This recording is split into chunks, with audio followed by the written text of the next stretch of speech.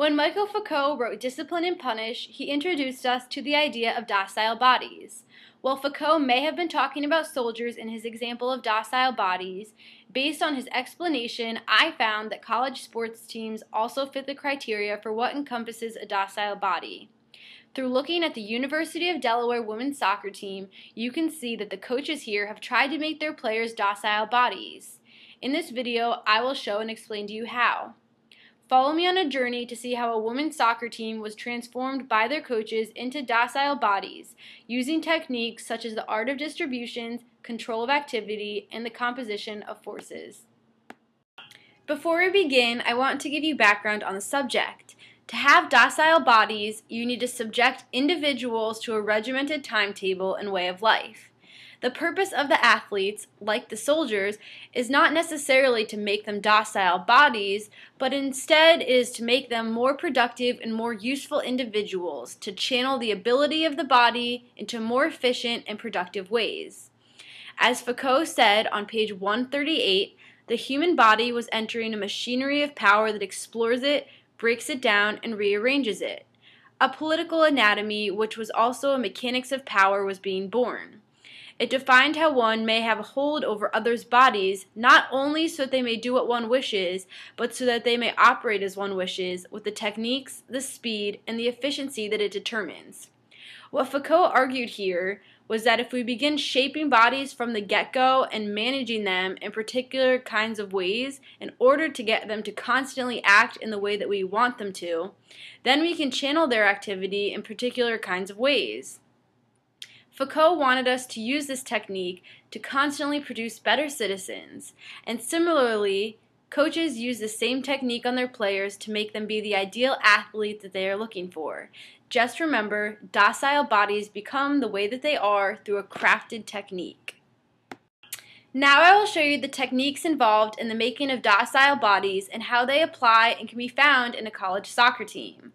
I will be demonstrating to you the art of distributions, control of activity, and the composition of forces. Docile bodies are made through the art of distributions.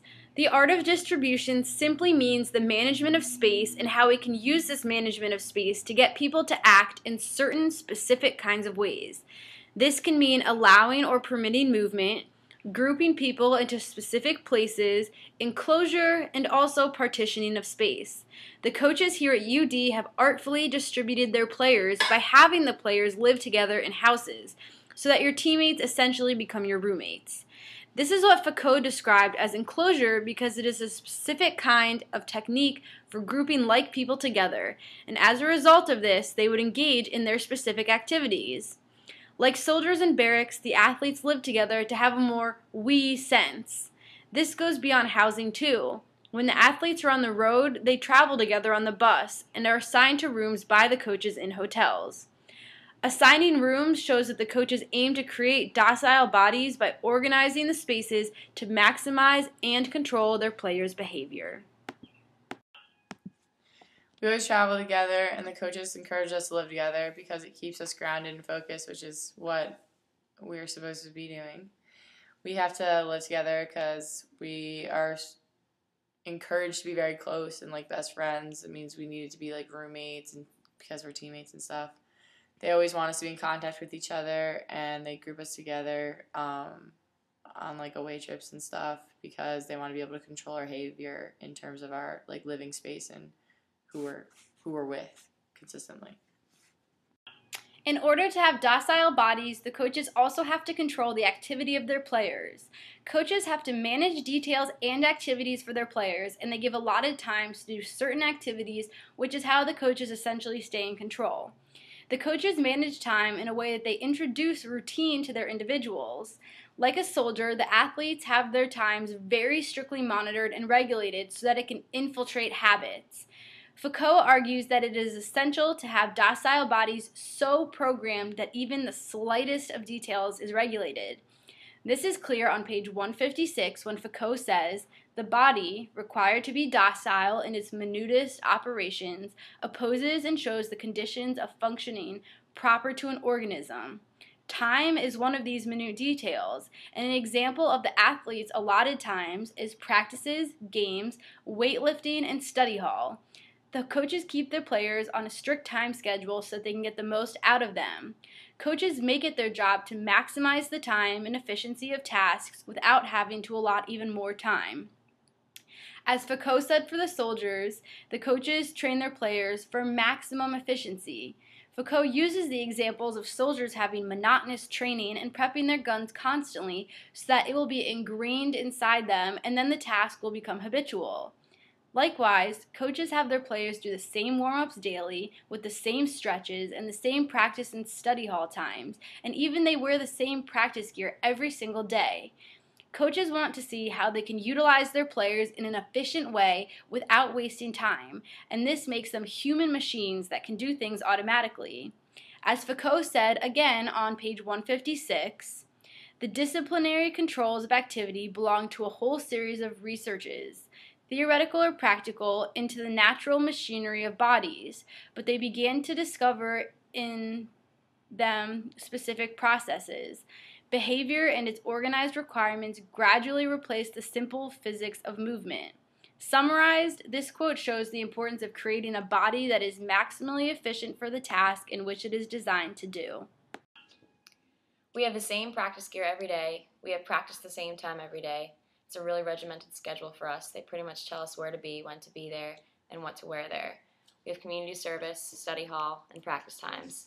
They make us dress the same, have certain time slots. It's all very regulated. Lastly, an equal component of training docile bodies is to have composition of forces. What Foucault means by this is a relation among people, and then further organizing the relations between these said people to make them maximally efficient as a group instead of just as individuals. This has its roots in military science because you need a fighting force to work together collectively instead of individually. Think of this. How do you put people together to have them work as one? And how do we organize the capabilities of different individuals so they can be maximally productive?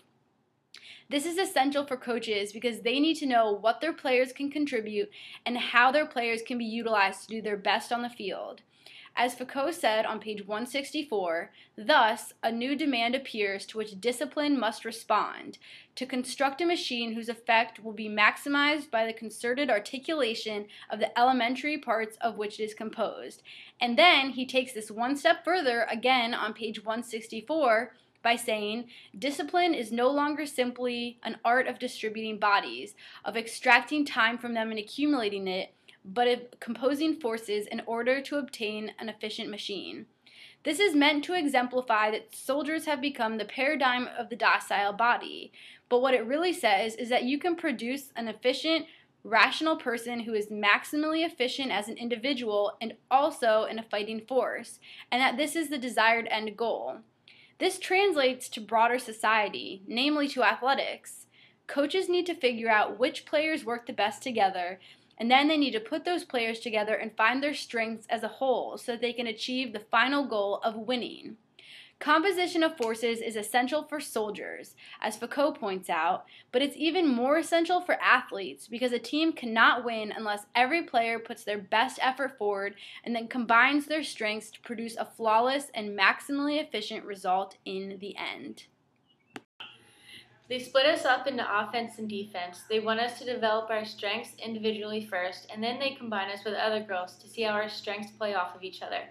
They really try to make our strengths and isolate them, then combine them with other players' strengths, almost as if they're creating a machine.